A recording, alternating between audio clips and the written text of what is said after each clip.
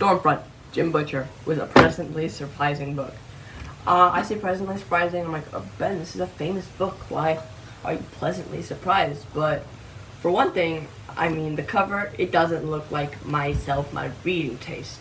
And the first thing for I hear that um, one of the, the first book is one of the worst books, and so yeah, that's what I was hearing, and then and then just like just like it doesn't you know look like my style or look like I, what I would do, but I was pleasantly surpri- pleasantly surprised by this book and how it was amazing, and it was a page turner, and like it wasn't perfect. Obviously, it's just not like a huge novel like like an epic fantasy. It's not epic fantasy. It's urban fantasy, different kind of fantasy.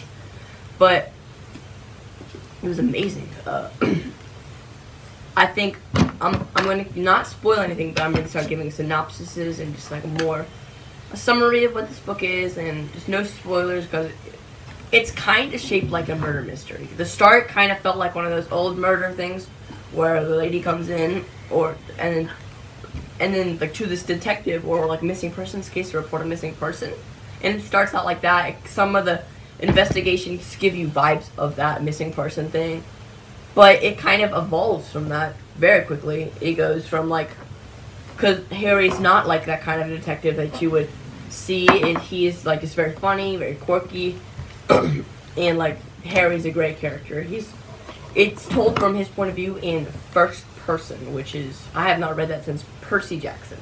It's been a while, so uh, it I was really good. Like the writing style can't it's not that deep because it's first person. It's kind of just from his perspective, but it was amazing because like the story kind of takes out like that, and then once you there's a magical twist to it, like because someone's obviously using magic to do what all these murders that are happening, and you you can see how he like takes it and I think this uh, series is a perfect blend between like actually knowing what we're doing and just like and absurd like not absurdism, just like doing whatever the magic system. It's like a perfect blend because his best friend's a skull. He knows vampires, all the mythical, fa- all your typical fantasy races exist, and it's just very like that. But also the magic system feels kind of like planned out and just not like he's making stuff up. It's a perfect blend of these two things. It's because like the magic system is he's like a wizard, and he's the only wizard in Chicago, and you, you kind of hear stuff about the White Council, so there's more wizards. He's not the only. He's not just a random wizard they plan. We have not met the White Council. I I hope we do. Just gets so it gets more interesting like that. But it was a great book, and then the um the original the plot twist. Or not, I'm not gonna say what it was, but I did not get it until just right before whenever he was talking to some of these characters, and just like because he knows um he's a great it's a great character like he's a great strong character, but one problem I do have with the Dresden Files are these covers. Every cover is just a picture of him holding his blasting rod, is what he calls it.